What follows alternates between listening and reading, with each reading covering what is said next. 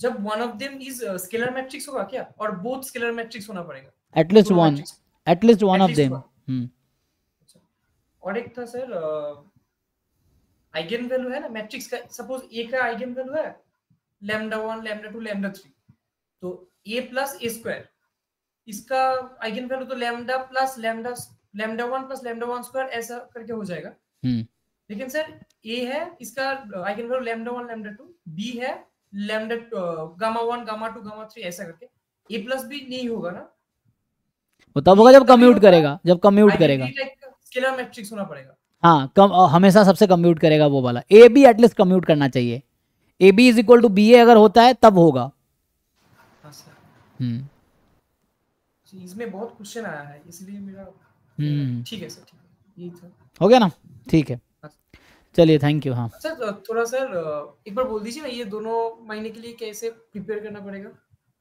मैंने PYQ solve कर लिया अभी तक थोड़ा बहुत बाकी है मेरा। अब गेट का गेट का कर रहे हो ना? हाँ सर गेट और जैम देंगे। जैम गेट नेट भी दे सकते हो है। ना? अच्छा जैम गेट आपका पर्पस तो जैम गेट नेट जैम के पहले पूरा पीवाईक्यू कर लो लास्ट ट्वेंटी ईयर के। गेट के भी आप लास्ट ट्वेंटी ईयर वाले कर लो। गेट मैथमेटिक्स में जो आपके स्टैटिस्टिक्स सिलेबस वाले क्वेश्चंस हैं हाँ। वो 2005 से लेके चौबीस तक जो भी कर सकते हो जितने 20 साल के वो कर लो। और बाद में नेट का भी क्वेश्चन साथ में करते रहो आप तो कर ही रहे हो। हाँ उसको रिपीटेडली रिवाइज करते हो। अभी मैं गेट पीवाई को जैम कैसे पीवाई को डिस्कस कर रहा हूँ जैम बैच में? अभी ना नेट का प्रिपरेशन नहीं ले पा रहा है मैंने। कोई बात नहीं। आप एक पे फोकस करो अच्छे से। पीवाई यूज़ करने को करो। जैसे सिलेबस एक एग्ज़ाम का करो जिसकी आप सच में तैयारी करना चाहते हो प्रायोरिटी में रख के। बाकी क्वेश्चन सारे एग्ज़ाम में क्वेश्चन के करो उस सिलेबस के। अच्छा। जैसे आपका गेट गेट नेट एग्ज़ाम तीन एग्ज़ाम है तो आप एक को पहले मोस्ट इंपोर्टेंट टिक करो और उस पर फोकस करो। बाकी दो की तैयारी साथ में हो जाएगी। हाँ तो आप का फोकस करके मैंने चल रहा हूँ। हाँ गेट का मान लो आपने फोकस किया तो गेट का तो प्रायोरिटी गेट का सिलेबस ढंग से आपको करना है ठीक है? हाँ, हाँ। तो उसमें जैम का हो गया पूरा नेट का कुछ पार्ट हुआ कुछ पार्ट ही करना है उधर फोकस नहीं करना। नेट में वो क्वेश्चंस करो जो गेट के सिलेबस के हैं।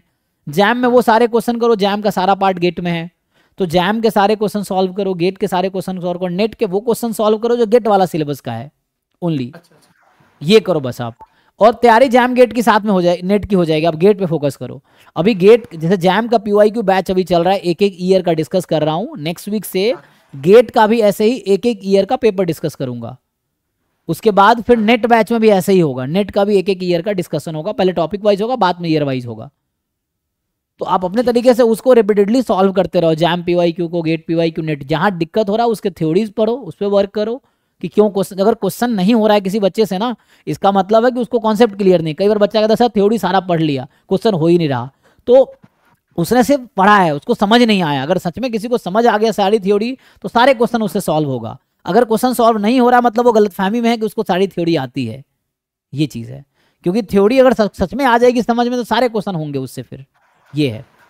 सर मॉक टेस्ट देने का क्या स्ट्रेटजी है? आपकी तरफ़ से? मॉक टेस्ट अभी आप सॉल्व करो। मॉक टेस्ट में पहले टेस्ट जो भी है एक बार वो सॉल्व कर लो सो दैट आपका हाँ। रिफ्रेश हो जाएगा कॉन्सेप्ट रिवाइज भी हो हाँ। जाएगा।